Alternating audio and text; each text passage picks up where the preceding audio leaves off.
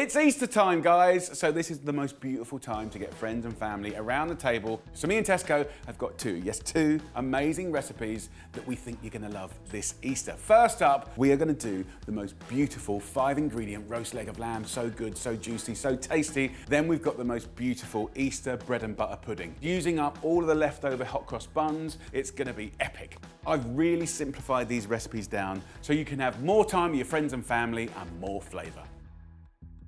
I've got here a beautiful bag of Maris Piper potatoes. So I've taken two kilos of potatoes, peeled them, put them in water with a nice big pinch of salt, and I'll boil those for about 12 to 14 minutes. So while that comes to the boil, let me show you a really easy but delicious marinade. Just take the rosemary, put your fingers along the stalk, and just pull it off so you get just the leaves, a little pinch of salt and black pepper and then you pound it up. If you haven't got a pestle and mortar, just finely chop it.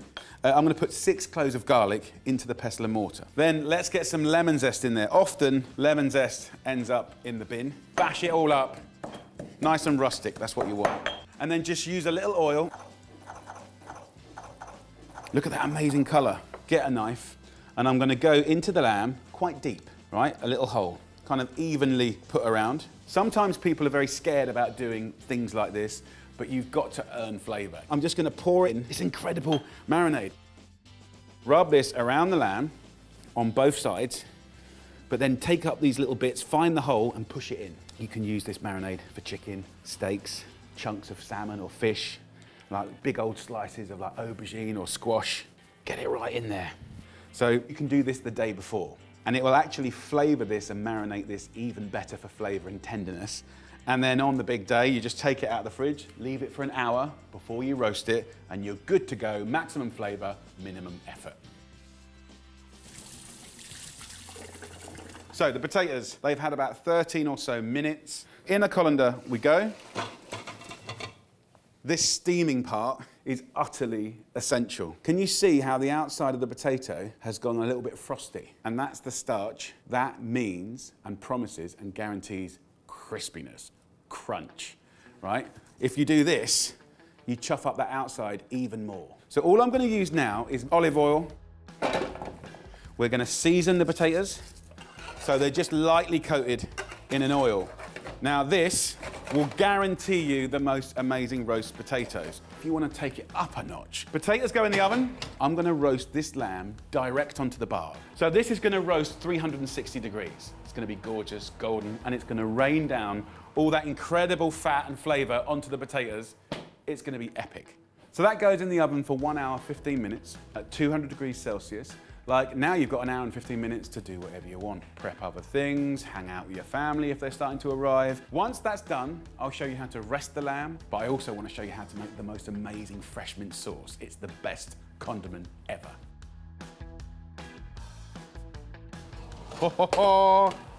Come on! With the lamb, which is beautiful, and you can see how it's roasted, 360. After about half an hour's resting, we'll give you beautiful, succulent, tender, lush meat. On the spuds, if you just pick one up and kind of tear it open, you can see how fluffy it is on the inside. Beautiful. You can take these out if they're done. If not, carry on cooking them a little bit, and you can flash them in the oven a little bit later. But while that rests, I want to show you how to make fresh mint sauce. So get a large bunch of mint. You want the leaves. Finely chop that mint. The smell is amazing. Add some seasoning. Take a little teaspoon of sugar, some vinegar. I'll use red wine vinegar. You can use any vinegar, cider vinegar. And then boiling water. Now the heat is going to create an infusion, just like a cup of tea. So we're really pulling the flavour out of the mint. If you've got leftover, you can keep it in the fridge for a week, no trouble at all. All I do now is have a little try. Oh, hallelujah. That is a brilliant sauce. So let that sauce cool down and let the lamb rest. And then of course, at this point in time, you could bring together all the veggies you want and make it your very own roast lamb dinner. Brilliant. When it comes to carving, ideally you have a carving knife and you want it to be sharp. You can slice at an angle or you can slice down to the bone. There's no real right or wrong way to do it. Take a little bit of time and pleasure. The smells coming off it is incredible. You can see how juicy it is. It's outrageously juicy, right? It's gonna be tender, tender, tender. You can see how there's more well done bits and more blushing bits. So look, we've got the mint sauce there. I've just flashed the potatoes to get them sizzling. Stack this up. Look at that. Any resting juices, we'll just put over the top. But look at this, guys. I've got to try some, so come on. Mm-hmm. Off the chart. Second up, hot cross buns. There's gonna be loads around this time of year, and if you've got any left over, it doesn't matter how stale they are, they are gonna be amazing in this incredible hot cross bun bread and butter pudding. It's the most epic dessert. First up, I'm gonna use three beautiful British eggs. Into there, we're gonna go with 150 milliliters of milk, 150 ml of double cream to give it a nice richness. And then I'm gonna give it that beautiful flavor with vanilla extract, two teaspoons. So just a couple of tablespoons of gorgeous golden caster sugar and give it a nice little whisk. And that is that bit done. Take about 60 grams of butter. Take a little bit of that butter and rub it around the bottom and the edges of a 24 centimeter non-stick pan. But of course you can use a dish, a little apple pie tin, it doesn't really matter, as long as it can go in the oven. So once you've rubbed that all around the pan, put in a tablespoon or two of sugar again, and then we'll move this around and can you see how that sticks to the butter? That will give you the most gorgeous, caramelly, golden outside crisp. So next bit is very, very simple.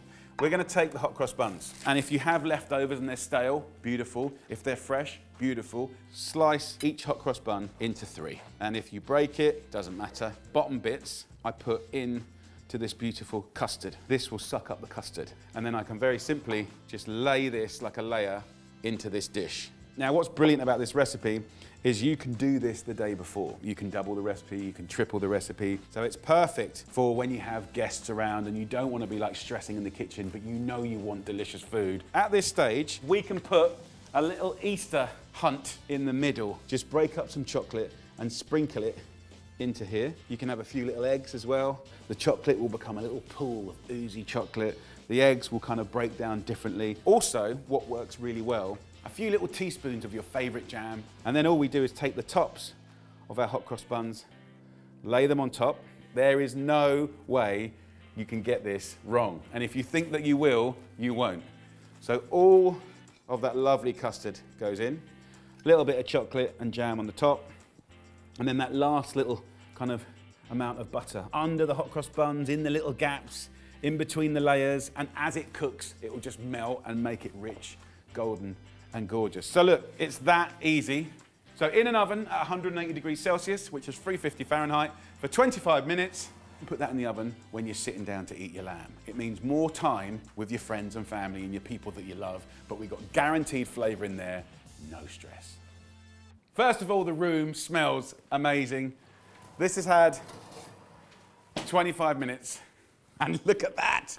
The jam is just blipping away. The eggs have cracked.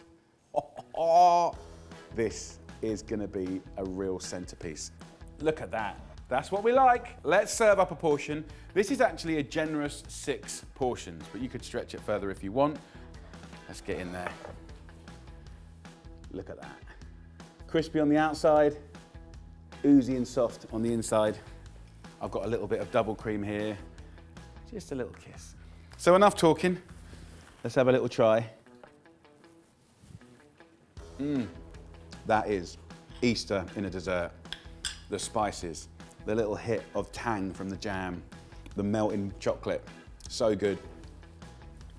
Mm. So look, if you want this recipe, or the lamb recipe, or loads more inspiration, simply go to tescorealfood.com and enjoy.